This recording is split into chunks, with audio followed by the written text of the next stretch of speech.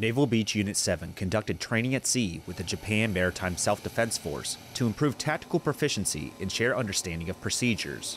Ciaran Steinkamp was in charge of communications with the Japanese ship Kunisaki. Today we conducted a uh, bilateral training exercise with the JMSDF Navy. We sent one of our LCACs into their well deck, which is different size and specs from our own, so it was good training to see how we could approach that. I was on communications. I made sure that we got there in a timely manner and that we did so safely and uh, talked to the ship, making sure that they know that we're approaching them instead of just a random boat.